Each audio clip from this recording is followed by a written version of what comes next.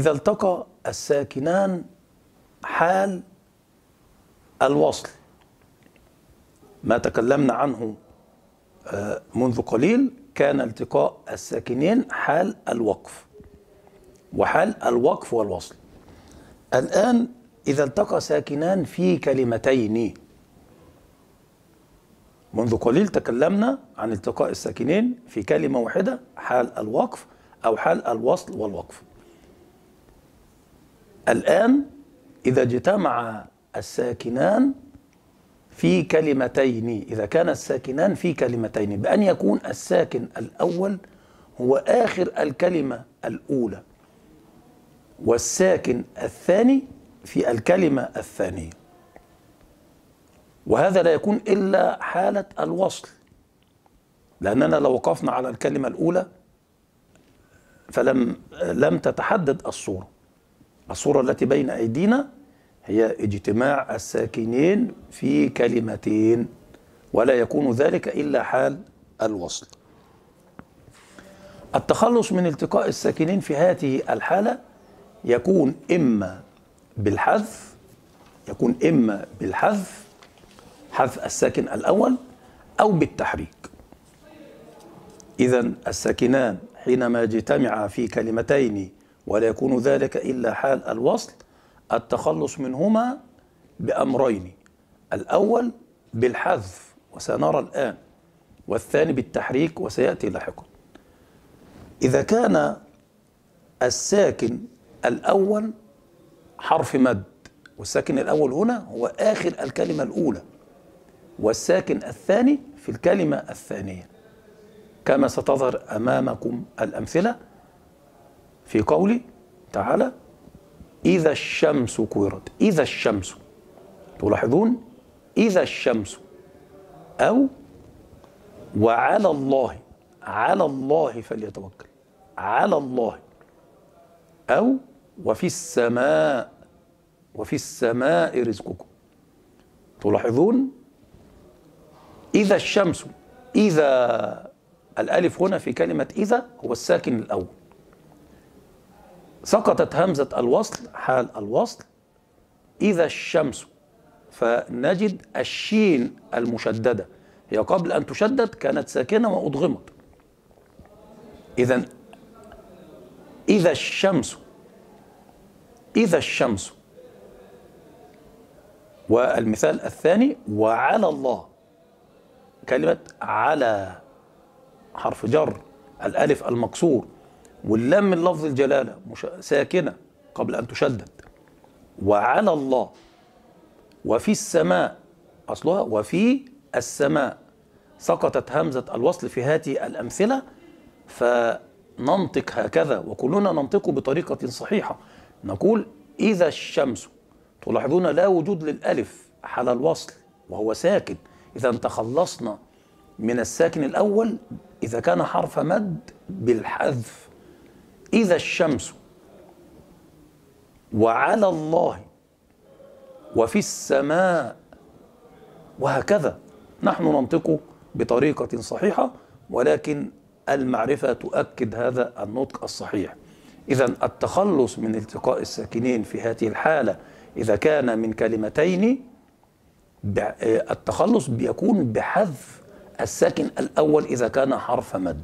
إذا كان حرف مد هكذا.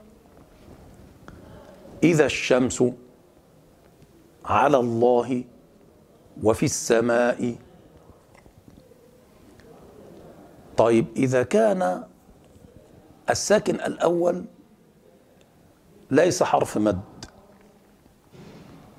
وهو آخر الكلمة الأولى والساكن الثاني في كلمة أخرى فمذهب ورش في هذا له مذهب خاص. ننتبه له. أن ورشا يتخلص من التقاء الساكنين بتحريك الساكن الأول بالضم. تلاحظون؟ كما في الأمثلة قل ادعوا الله. أصل الكلمة قل ادعوا. تلاحظون في رواية ورش منطق هكذا قل ادعوا الله. سأشرح هذا المثال ثم نلفظ بأمثلة أخرى. الساكن الأول اللام قل فعل أمر اللام ساكنة. والساكن الثاني الدال في الكلمة أدعو قل ادعوا الله. الدال بعد أن سقطت همزة الوصل.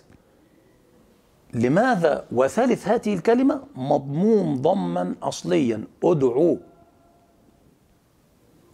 فيحرك سيدنا ورش سيدنا ورش رضي الله عنه الساكن الأول بالضم لأن همزة الوصل في هذه الكلمة ابتدأت مضمومة لضم ثالث الفعل أو الكلمة ضما لازما. ادعوا ادعوا حينما نبتدئ بهذه الكلمة لابد أن نبتدئ بها مضمومة همزة الوصل مضمومة. لماذا مضمومة؟ لأن ثالث هذه الكلمة أو هذا الفعل مضموم مضموما ضما لازما. فورش يحرك يتخلص من التقاء الساكنين بتحريك الساكن الأول بالضم. لماذا؟ لضم ثالث الكلمة. ولأن همزة الوصل إذا ابتدأنا بها في هذه الكلمة تكون مضمومة لكنها سقطت في الوصل. قل ادعوا للمناسبة ولأن ثالث الكلمة مضموم ضما لازما. فيكون النطق هكذا. قل ادعوا قل ادعوا الله. أمثلة أخرى تظهر أمامكم. قل انظروا قل انظروا. هناك قراء آخرين يقرؤون هكذا. قل ادعوا بالكسر. يتخلصون منه بالكسر. قل انظروا. لكن ورش يقول قل ادعوا قل ادعوا الله. قل انظروا. أو اخرجوا أن اقتلوا. وقال تخرج وقال تخرج. تلاحظون؟ وقالت التاء ساكنة تاء التأنيث. اخرج.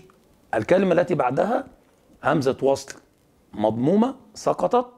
وثالث الفعل مضموم ضما لازما. اخرج. اخرج. اذا إذا التقى الساكنان نقول وقال تخرج وقال تخرج. هناك قراء آخرين يقولون وقال تخرج بالكسر لكن مذهب سيدنا ورش رضي الله عنه ويوافقه قراء آخرون كابن عامر وقالون والكسائي وابن كثير يوافقون في هذا بتحريك الساكن الأول بالضم. إذا كان ثالث الكلمة مضموم ضما لازما والكلمة مبدوءة بهمزة وصل مضمومة وفيها الساكن كما في الأمثلة. قل انظروا أو اخرجوا ولو أن كتبنا عليهم أن اقتلوا أنفسكم أو اخرجوا بالضم. حركنا الواو بالضم والنون بالضم. وقال تخرج. وقد يكون الساكن الأول تنوين كما في الأمثلة. ولا يظلمون فتيلا ننظر ولا يظلمون فتيلا نو تلاحظون ضم التنوين. والتنوين هو في الحقيقة نون ساكنة. ننطقه هكذا. ولا يظلمون فتيلا ننظر ولا يظلمون فتيلا نو فتيلا ننظر قل معي. تدرب معي. ولا يظلمون فتيلا. ننظر مثال آخر.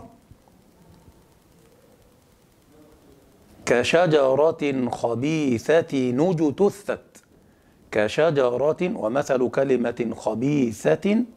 كشجرة خبيثة نجتثت. خبيثة نجتثت. بضم التنوين. وصلا. لأنه نون ساكنة. التنوين في الحقيقة خبيثة تنوين. هو في الحقيقة نون ساكنة فنعتبرها آه، آه، نضمها كما سائر الحروف. خبيثة نجتثت وهذه الأشياء تستحق التدريب وتحتاج إلى ممارسة حتى نقرأها في سلاسة وعذوبة بلا تكلف أو تعسف. برحمتي ندخلوها. برحمتي نو برحمتي ندخلوها. نلفظ معا الأمثلة مرة أخرى. قل ادعوا الله قل ادعوا الله قل انظروا ماذا في السماوات والأرض. ولقد استهزئ بالضم ولقد استهزئ. قل معي ولقد ولقد استهزئ. وقال تخرج وقال تخرج. إذا كان تنوين برحمة ندخلوها ولا يظلمون فتيلا. فت... آه... آه... ولا يظلمون فتيلا ننظر. ولا يظلمون فتيلا ننظر. كشجرة خبيثة نجتثت خبيثة نجتثت الأمر يحتاج إلى ممارسة وإلى تدريب.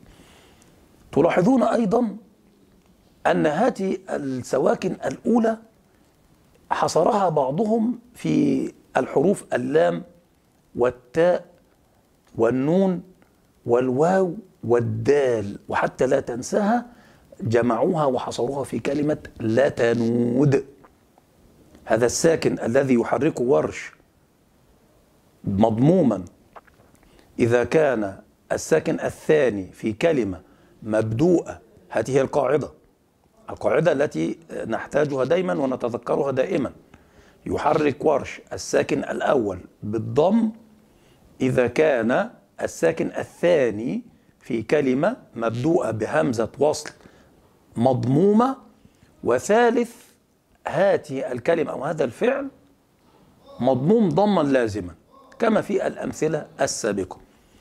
الحروف التي وقعت ساكنة في الأول الساكن الأول حصروها في كلمة لا تنود اللام والتاء والنون والواو والدال.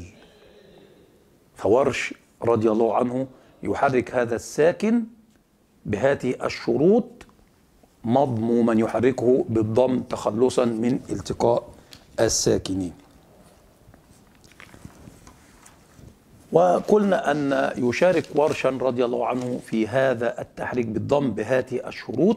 قالون وابن كثير وابن عامر والإمام الكسائي رضي الله عن الجميع. طيب إذا خالف إذا خالفت هذه الصورة الشروط بمعنى أن أن الساكن الثاني لا يكون في كلمة مبدوءة بهمزة وصل مضمومة ولم يكن ثالث هذه الكلمة مضموما ضما لازما إذا هنا خالفت الشروط فورش كسائر القراء يحركون الساكن الأول بالكسر لأنه خالف الشروط كما في الأمثلة. قل الروح من أمر ربي. أصلها قل الروح اللام ساكنة والراء ساكنة قبل أن تشدد. فكل القراء يقرؤونه هكذا. قولي قل الروح بالتحريك بالكسر. لأنه خالف الشروط التي اشترطناها عند التحريك بالضم. إذا كان الساكن الثاني مضموم موجود في كلمة مبدوءة بهمزة وصل مضمومة لضم ثالث الفعل أو ثالث الكلمة ضما لازما. لكن هنا خالفت الشروط فورش كسائر القراء يحرك الساكن الأول بالكسر كما في الأمثلة قل الروح من أمر ربي قل الروح فلينظر الإنسان فلينظر بالكسر. أن امشوا أن امشوا لأن كلمة امشوا مبدوءة بالكسر لأن أصلها لأن أصلها امشيوا. هناك ستة أفعال امشيوا اقضيوا امضيوا اسعوا وهكذا. هي صورتها أن الثالث مضموم لكن ليس ضما أصليا. أصلها امشيوا. اجتمعت الياء والواو ساكنتان حذفت الياء ونقلت حركتها إلى الشين قبلها. وهذا شرحناه من قبل. ونذكر به الآن. أن امشوا. كل القراء يقرؤونها بالكسر. أن امشوا. قوما الله مهلكهم. لما تعظون قومني التنوين حركناه بالكسر. لأنه لم يكن الساكن الثاني كما في برحمة ندخلوها أو خبيثة نجتثت أو فتيل ننظر. هذه صور حركناها بالضم أما هذه الصور خالفت الشروط بأن الساكن الثاني لم يكن موجودا في كلمة مبدوءة بهمزة وصل وثالثها مضموم ضما لازما قوما الله وهذا كثير في القرآن. إذا إذا خالفت الشروط فورش كسائر القراء يلفظ يحرك الساكن الأول بالكسر.